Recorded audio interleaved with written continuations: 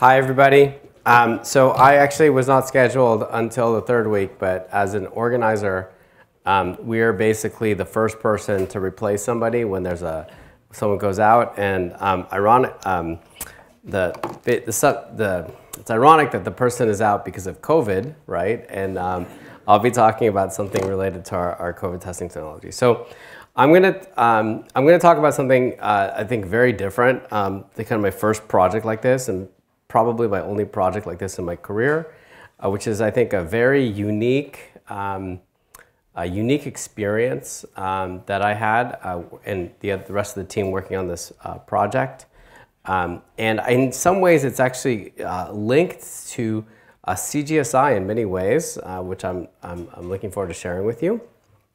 Um, and so um, this, yeah, so this is project is about uh, testing technology, which we uh, developed and, and, deployed at UCLA uh, over the last two years. Um, so I just want to kind of um, go back to April of, uh, you know, um, March and April of 2020, if you remember. Um, so this is right around the time that we were canceling uh, CGSI 2020. Um, if you re remember that uh, testing was a real kind of mess. It was a real, it was a real mess at the time. Um, and you know the headlines uh, looked looked like this, right? This was kind of uh, you know what went wrong. This, the, the the New Yorker was you know you know saying what went wrong. If you remember, there's all this the CDC test that didn't work, and then the FDA was, you know, there's a big mess, right? Um, and then they're saying that, um, like, you know, COVID has been absurdly sluggish, that puts us at risk.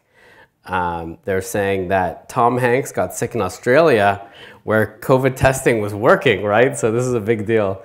Um, and if you remember, I don't know if you remember this scandal, right? It's kind of funny to look at now, right? How NBA team got 58 tests, right? And, and that was a, that was a, a scandal um, in, the, in the national papers, right? Um, and it was so bad that uh, the state of California um, decided to uh, build a, their own facility for COVID testing at the cost of uh, $1.4 billion. They built a, a facility uh, to, do, to do COVID testing. So it was that, it was that serious of a problem. And so in this time, um, actually Jonathan, it's too bad that he had to step out, he was basically talking to us and said, hey, you know, we have, first of all, you know, they, they, they we had a stay, uh, stay at home order, so nobody, everyone had to leave, um, unless you were working on something related to COVID, right? And uh, Jonathan said, hey, you know, we have all the equipment in our labs, let's just go in and test, right? Why not, you know, why not, right? So Jonathan kind of got a group of us um, so, uh, to, to work on this. And, um, and so that's how this project really, really started. Um, and so, you know, if you think about uh, part of the reason why there were the problems was really that um, what we were asking to do, uh, the society had needs for testing on a scale that uh, never, you know, was never, was unprecedented uh, because we were asking, uh, like, we, we had a need to test people who were not sick, right? So all previous testing has focused on, you know, the relatively small percentage of people that are sick, but here now we're asking to test people who, everybody, right? So it, it was a real, um, you know, there, the, like the, the, the issues was uh, scalability and infrastructure. And so the, and, and actually even today, um, although there were many, many um, attempts at developing uh, new technologies for COVID testing, the vast majority of COVID testing today is really done by this quantitative RT-PCR uh, technology, which has been the gold standard um, and in use for 20 years. And um, it, you know, it works pretty well, um, but it's, it's fundamentally uh, limited um, in, in several ways. Um, so, um, I mean, in general, you know, how do you like get that many samples? But also, it requires uh, RNA purification, uh, which is which is typically a bottleneck. Um, and also, you know, every qPCR machine, it's one machine. It can process, you know, a certain number of samples, uh, you know, in a couple hours, um, which is great. That's a good good turnaround time, but you know, it's only scalable by how many machines you have. So the large testing centers are basically these giant farms of these machines. Um, and, and you know, obviously, like especially early on, the, the reagents for these machine uh, for these tests were very limited. Um, and, and because, you know, it's like if you to scale, you really need these machines and you need people pushing the button, you know, 24 hours a day. Um, it, it, it, can be expensive, right? Um, and so, and that's why when there are these surges, what happens is that, you know, they have a certain 24 hour capacity, but if you are beyond that, then you get this big backlog of samples. That's why some of the turnaround time gets around. So us coming from genomics really thought about this, you know, why do we need to use uh, qPCR when we have uh, sequencers, right? So why don't we try to develop a new technology using sequencing? So the idea, that's really how uh, SwabSeq uh, came out. And so um, the key, I would say, inventors of the technology are, are, Val Arboleda, who, I don't know if she's here now, um, but she gave a talk on Tuesday evening, and uh, Josh Bloom, he's a, a scientist in Leonid Kruglyak's lab, and Sri Kosuri, who's um, faculty on leave at a biotech that, um, and so the, the real um, key ideas in SwabSeq is that it, it's, it's different in the sense that um, it adds a, it's based on sequencing, um, but you know, the, and, and, but the key idea is that in the uh, PCR reaction, it adds a barcode to every sample. And so that barcode allows you to pool many, many samples together. And then when you sequence them, you can use the barcodes to deconvolve the, the sequences and figure out which uh, individual had which, uh, you know, had which, um, um, um, like which ones are, are, the, are the positive. So you get still individual level diagnoses. And so the key, and, and also because sequencing is generally more accurate than uh, PCR, you, you, can, you don't need um, uh, RNA extraction. Um, and uh, that's really because the the readout is digital and not, um, not um, fluorescent. So, okay, so what, let me just say one more thing about the barcode. So what do I mean by uh, molecular barcode sample? So this is kind of a toy example. So let's say uh, you have an amplicon, which is, uh, we're looking for a, a 10 base region on the S protein of, uh, of the uh, SARS-CoV-2 virus. And what we mean is by adding a barcode, we add to, for every individual sample, we add kind of a unique piece of sequence, um, and that's done in the PCR when it's amplified. And you can imagine that, so here's four different, you know, it's, obviously a toy example, four different samples, they add a different, um, different sequence. Um, and, and so then, you know, when, when the samples are then all pooled together and sequenced, you'll be able to read that part of the barcode to figure out which individual, you know, which reads came from which individual. And, th and that lets you um, sequence, you know, potentially thousands of samples together um, because, uh, and that's where the efficiency comes in. So um, a, another uh, little detail, so um, the barcodes are actually part of the PCR primer that does the applica application. And you know, uh, when you're doing PCR, you have a forward and reverse primer, and we have a different kind of a unique barcode on each end. Um, and this will actually become a little bit important. And um, and so uh, so that that's that's the the, the idea. Um, there's actually one more kind of um, technological idea uh, that is turns out to be really important. Is that we also add in a what's called a spike, which is a synthetic sample. So we so we, we have the, the target's a 10 base sequence. Uh, what we do is we um, add something that looks like the target, except for has uh, six of its positions reversed. Um, so, um, and we add a certain quantity of that to every sample. Um, that has the advantage of um, First of all, um, you know, you'll, you'll always see it, right? That's one thing.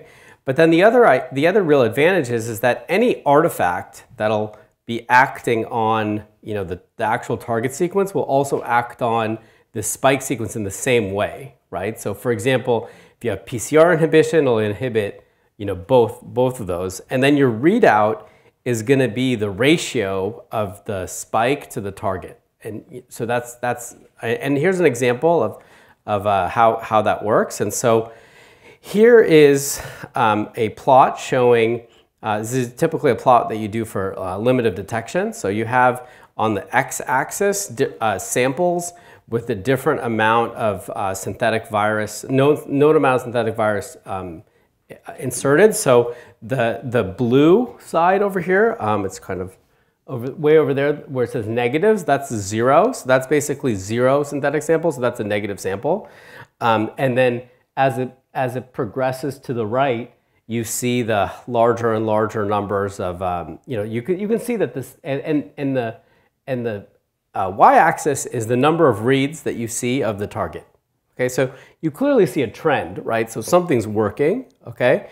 But you also see a lot of noise. I don't know if you, could, you can, can see that. You see a lot of noise. Like, so for example, if these are all zero, this looks good down here. But what about some of these are kind of mixed in with these, right? And then you have some of these points over here, which, you know, so these are everything kind of in this region and up here.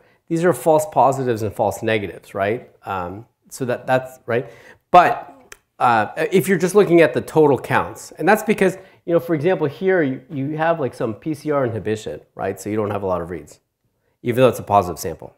Um, but if you look at the ratio, it's much cleaner, right? So in the ratio, you see that uh, there's a really good separation between you know the positives and the negatives, right? So that those are the two two ideas, um, and and that gives you kind of a, an accurate test.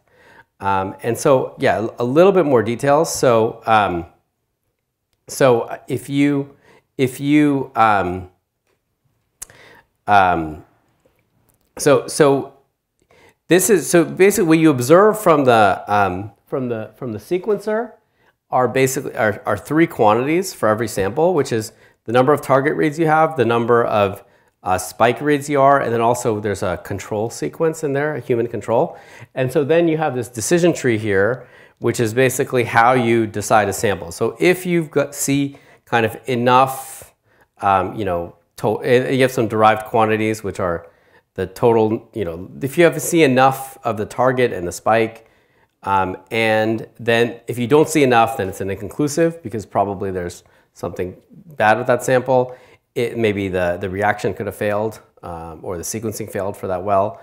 Um, if you, it, but then if you, if you do see that, and if the ratio is high, then it's a positive. And if the ratio is low, um, but you, if, you, if you don't see enough human uh, control, then it's, a, then it's an inconclusive, and otherwise uh, it's a negative. So that, that's, you know, it's a really simple, really simple uh, kind of approach.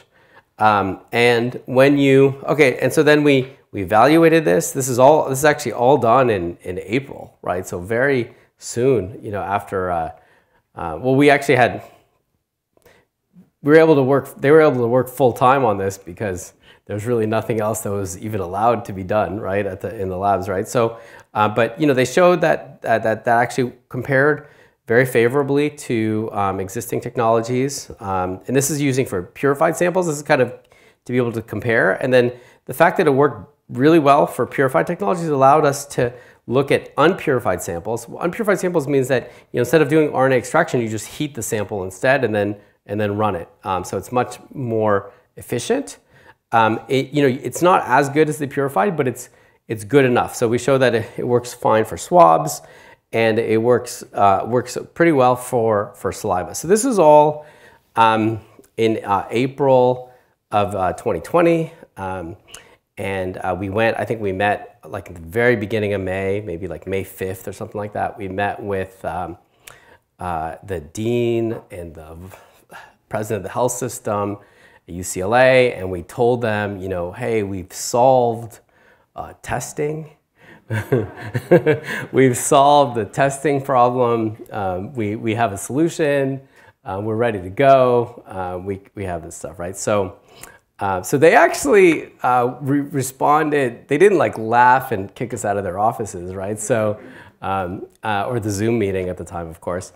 Um, but you know, they were they were. There's a lot of skepticism about actually moving something from like the lab into the into practice.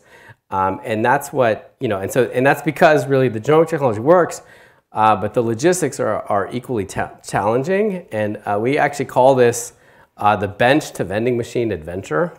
Um, and and and you know, and so they were. There's a lot of skepticism uh, about you know just just operationalizing a new technology, right? Um, but um, but you know, we had UCLA like the the nice thing is that even if they weren't sure if we'd be successful, they uh, they're very supportive in letting us try, right? So uh, they they you know they they really encouraged us to try, uh, but they really also made it clear that it's us trying and it's not like UCLA Health is trying, right? So we pretty much had a lot of uh, flexibility to kind of do our own thing, um, but it was really kind of on us to do uh, to, to, to do everything. And so fortunately, um, since CGSI was canceled, um, uh, the CGSI staff is really good at logistics, right? So it's actually a lot of the operational of operationalizing the technology was really done by the CGSI uh, staff and infrastructure in kind of moving forward. So all of the CGSI staff, if you could ask them, they've all worked on this um, at like some point. Um, we, you know, uh, okay, so so how do you uh, bring up a high complexity CLIA lab? So you need space, you need money, you need forms, lots of things, clinical like personnel, regulatory compliance. Uh, Valerie, uh, who spoke on Tuesday, is actually uh, also a clinical pathologist, which is kind of the perfect person to kind of be in both uh, uh, worlds. And so we, there was also an institute that they've been planning on building um, that has a had a uh, was you know, had this wet lab space that was empty. So a floor of a building um, on the on the eighth floor of the south tower, really beautiful. So we have these sequencers with the view, uh, really nice uh, space. So we got this. We, they gave us like one room in this floor. We're now the whole floor, right? Um, um, and um, and so we started kind of going for this. Um, and you know, then we had these like we we started having meetings with the leadership and so they, we said, hey, can we buy these sequencers? And they said, sure. Um, you know, well, we need to run two sequencers. They said, sure. And then they said, well, you know, we need a backup so we can get a third sequencer. They said, sure, you know, because, um, you know, they think that the sequencers will be useful, right? So then at one point we said, well, you know, look, there's like a real run on sample tubes. Um, and if we, you know, we need, uh, we need to buy sample tubes in order to be able to have enough, right, when we do the testing. And uh, the, the vendor says that if we don't buy a million today, then we won't be able to get any, right? Can we buy a million? How much will that cost? You know, $800,000. And they said, let us think about it. So then they came back to it. They said, okay. Um, and so then, um, so, so, you know, so we, we start ordering all these things. Uh, they start coming in. And, um, and so I want to kind of give you uh, I, I, think it's, it's best to really uh, show how quickly everything moved uh, in a timeline, right? So this is, you know, kind of from, from bench to vending machine, right? From April, the, the, the, even just the idea of doing this really started then. Um, you know, by, we validated technology pretty quickly. Uh, we moved into the new lab. Uh, we submitted the EU uh, FDA approval. Um, we started, you know, working on the automation processes and kind of lab processes, hiring staff, getting all the equip things come in, and then we only we got our uh, regulatory approval in October, and then we uh, we actually deployed to, to UC Santa Barbara, which is our first client in uh, November. Um, and you might ask, like, why is UC Santa Barbara our first testing, even though we're we're at UCLA? Well that's a, that's a really good, um, good question. And it has to do with um, this regulatory approval. So we actually, um, you know, we developed the technology in, in, you know, in April, and in July, we already did a operational pilot. So the UCLA was testing some, I think, law students coming back to campus. They were testing all of them, and so we collected samples at the same time and showed that we had uh, concordant results. You know, the they were all negative, right? So it was pretty easy. Um, but um, so that was July. But then, um, in you know, At the time, you needed a uh, FDA approval. They actually, at the end of August, they waived that. There was a kind of a fight between the Trump administration and the uh, and the FDA. So Trump said you don't have to approve. You can't approve. Everything's approved. You don't have to approve anything anymore. Um, but then uh, also you need a uh, like this CLIA license, right? That that it's also space dependent, so we had to apply for it. and so it was on. You know, we applied for this this in July and September, and we had no idea how long this would take. You know, it's regulatory, right? Um, and so, you know, the campus was uh, every week. We meet with them. Are you guys ready? Are you guys ready? Oh no, we're still waiting for the license. We're waiting for the license. We're waiting for the license. Um, and so, on October 22nd, uh, the UCLA campus signed uh, with a vendor to do their testing, and then our license came in like a week later. so, so then what was really interesting was that we were no longer able to test for UCLA um, and um, but then UCLA was saying like, so how much money have you spent on this project so far? Um, and they they supported us in essentially being able to sell the test to outside uh, groups, and so we then became essentially a vendor, right, uh, working on the UCLA campus. Um, and but because of that, also the you know while, while previously we said we need a third sequencer, they said sure. You know, anytime we asked for anything else, they were like you know, pretty much they, they were they were at that point, I think, thinking that it would be a total loss um, of the money, and so they were really trying to limit things. So then we had to figure out how to operate with really limited uh, resources, and so that um, so we made many ideas on how to do things with very little staff, which actually made a big difference. So, for example, um, so we have because we have few lab staff. Um, our lab is you know typically running with like five people, uh, where typical other labs have you know maybe ten times that or something like that of the same volume. Um, we we do we have a process that require you know that the idea is that it's made as efficient for the lab as possible. So for example, uh, the everything's all the samples are registered and put into these racks at the collection sites, and then they arrive to us. All the lab does is it puts it into a water bath to inactivate it and puts it onto these machines that take the caps off and then, and then uh, these liquid handlers that transfer it to the, to the plates. Um, and so it's really efficient, right, from, from the lab's perspective. Um, and I'll kind of, I'll give a little bit more, more details there. Um, but then, you know, the other, and other things that we did is that, you know, a lot of, a lot of the work in these labs is to transfer samples from the, the samples that they come in from to the samples that, uh, to the, to the, like, the, plates or where they're analyzed. We decided, you know, we didn't have the staff to do that, so we want had to have the samples that they're collected in be the same ones that are, are used in the lab. So um, this is actually uh, Val had this, you know, so we had a one of the things we had to do for saliva. We needed a device to get somehow the saliva into the into the tube. There are these ex, these expensive devices you can buy. Like uh, I don't know if anyone's on a 23andMe kit. They're this whole thing, right? Um, so what what Val actually realized was you can buy uh, perfume funnels on Amazon, which um, which work great, right? And uh, and so our first initial, we bought twenty thousand on Amazon, and and this is our, our initial um, our initial our test. And if you look at our early, this is one of our early kits. Like the funnel looks like a flower. Um, and it's, it's exactly because of that, right? Um, since then, we, we then manufactured it. And um, health, the health system wanted a swab, and we also wanted the, you know, we didn't want to change anything.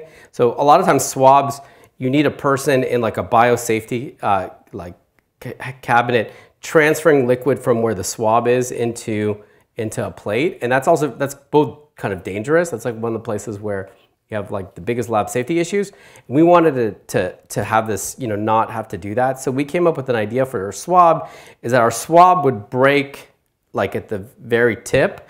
And so it would still fit into our same tubes, but it would be kind of, if you can see the picture here, it's like below, um, below the, the edge there, below where the liquid is.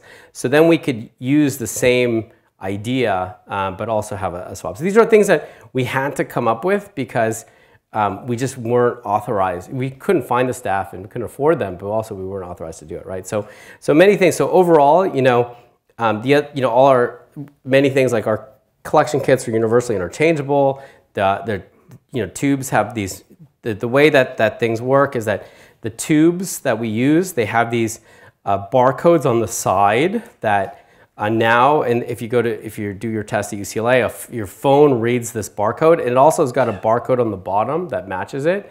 And so um, they're all kind of registered and in the, uh, in the, in the system, you know, at collection, and then when they, when it, the, the lab software uh, scans these bottoms, you know, because there's these holes on the bottom of these racks, it's like it's open. So it scans this uh, when they arrive, and that's how they all kind of get logged in. Um, and so all the samples essentially arrive uh, by, um, by automation. That you know, every, uh, the saliva and the swabs use the, the, the uh, same tubes. So, so let me kind of give some, some how, how things like work. So we have, the way things are is that we have, um, uh, we have, uh, the, like the way it's set up is we think we have these uh, pl plates. These are the kind of these are 384 well plates. Um, the plates are already prepared ahead of time to have in every well. You have a very speci uh, the specific barcode, and we have we have 1530 uh, 1530 should be 1536 different barcodes that, and so we have these four plates with 15. Uh, each one has got a, a different barcode in it, and then we you know the kind of the way that every kind of sequencing run is is set up is that we end up with uh, four racks of 96 patient samples that um, sample tubes that get transferred into each of these plates. So the way that it's set up is that you have these, these four plates. Um, you have um, 16 total plates will go into these four plates. Um, and, um, and the way it works is that, you know, when the, when the um, racks arrive in the lab, they get scanned in by this machine that reads all the barcodes and generates a file that looks like this. So it is basically, it's got, you know, for every position, it's got the, the actual barcode number of the sample. Um, and then, and you know kind of where it is. And then um, you keep track of, um, you know, which rack went where, right? So for, and then, and then, and then also within the plate, you also know what the molecular barcode is kind of at every position. And so you keep track of what went where. And then, and then based on that kind of mapping, you can then associate the patient barcode to the molecular barcode. Um, and then when you, when you do the analysis, you look at the number of reads, what the barcodes are, and then you can figure out which, which individual is positive and which one's not. So that's the idea. It's pretty, you know, it, it kind of works, right? It's pretty easy for the lab uh, to do it, um, but there's all sorts of problems, right? So for example, um, in this system, what would happen if, if, two, if accidentally the lab put the patient rack that was supposed to, you know, 11 and these two, they, they flip them, what would happen? If that happened. Yeah, yeah, it'd be like the wrong result for wrong. So this is like a catastrophic error, right?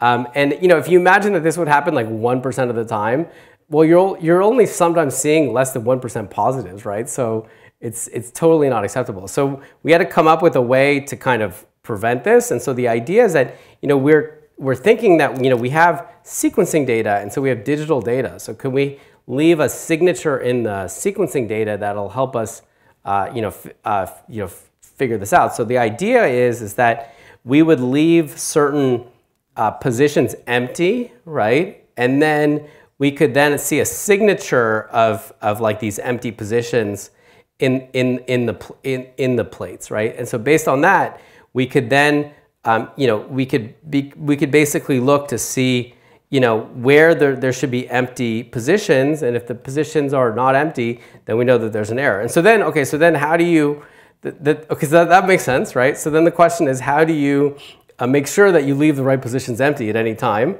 And so then, uh, this is the, in the lab, right? There's this map, right? Depending on what time um, of, of day you're doing the, the rack, which positions you leave empty, right? It's kind of a crazy photo. And then uh, they improved on this and they made these uh, 3D printed templates that fit on top of the racks that let them do that. Because, you know, um, so this is the kind of thing that, so I have some uh, pic, uh, videos of the protocol, but I'm going to kind of skip ahead. So again, so all these things are coming in, you know, here we are.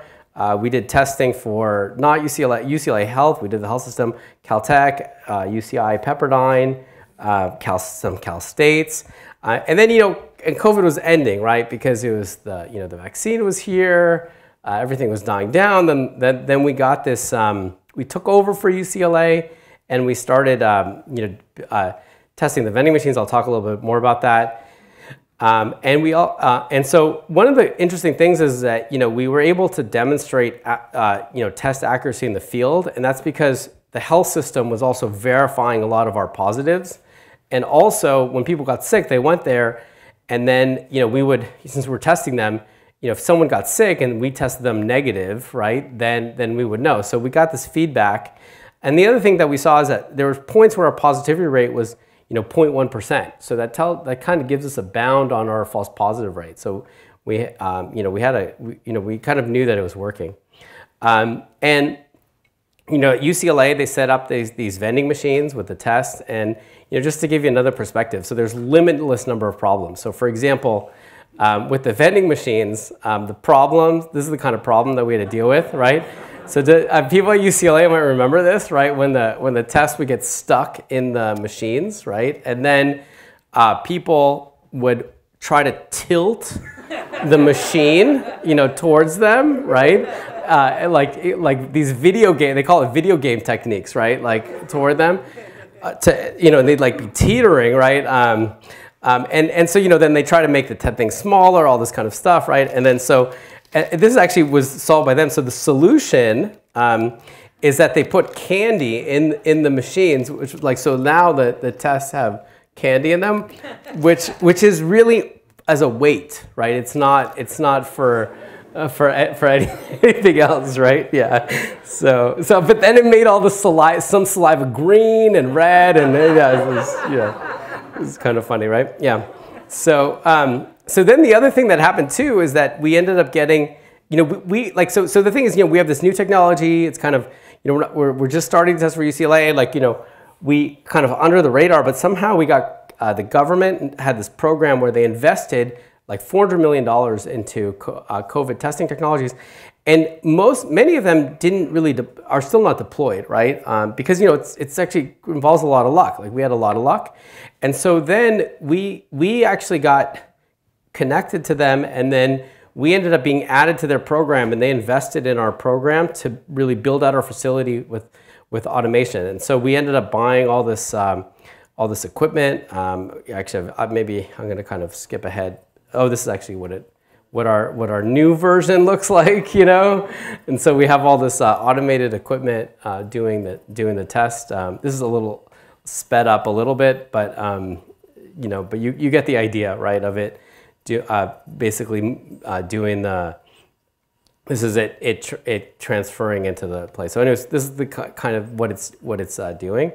Um, and, and of course, you know, when we thought that, um, so we thought that COVID was over, but then, uh, and we got this money. We are like, oh, we're going to build a genome center. This would be really great. Um, we're gonna, you know, and but then what happened was that the Delta variant came, right?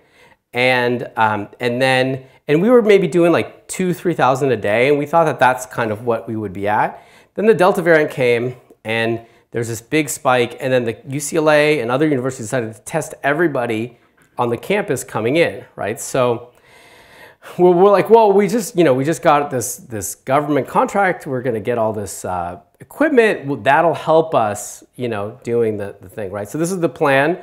We were about nine, uh, 3,000 a day, just in time. We would get all this equipment and we would move to 12,000 a day, and that would let us do the move in, and then uh, and then you know uh, kind of right. But the problem was is that the the, the contract was signed late, and the, we, we, we went to order the equipment. Oh, okay, it'll be there in three months, right? So the equipment was only going to arrive in November, but we, we had to test everybody. So we had to actually come up with uh, ways to um, to increase our capacity with just what we had.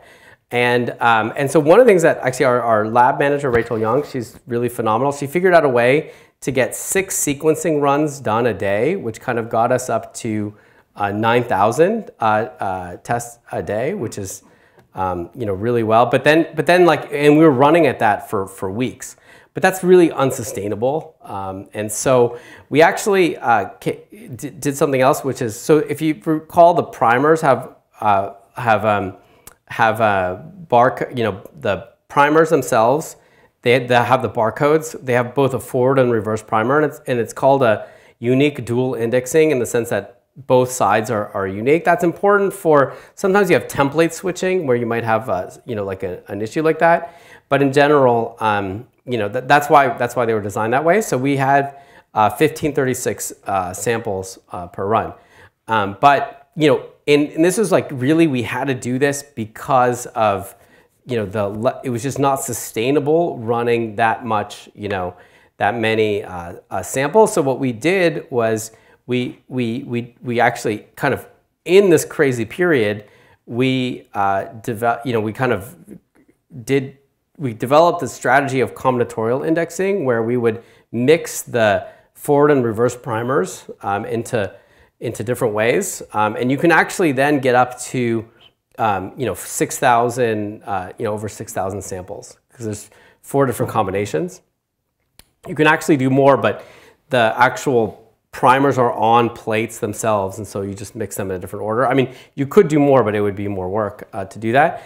Um, and, um, and so this is actually, then once we did this, we're actually able to incorporate that and then let the lab be able to run a capacity, but without at the, at the, the now we actually are able to do almost like 6,000 um, in one run, which is great because the lab has much easier life. The only problem is, is that if that fails, there's a lot of lot of unhappy unhappy people. But so this is actually this is these are showing each one of these is like a different run, and you can see like how many. You know, this is like we're some days we're doing like seven. Imagine doing. I mean, how many people are here have done one library prep, right? Imagine doing like uh, seven in one day, right? It's a lot, right? So, um, so um, anyways, but, but it, it, it, it was kind of the idea. And so then, so since that time, you know, with Omicron and things like that, we've been pretty much running at, you know, I think UCLA had almost full, um, uh, full, um, you know, kind of um, mandated testing for almost the whole year. And so now we're, um, now we're, we're here. So just, you know, um, there's actually, uh, one of the things that, you know, is kind of interesting also is that, um, you know, we've collected a huge amount of data, right, from this with all the tests.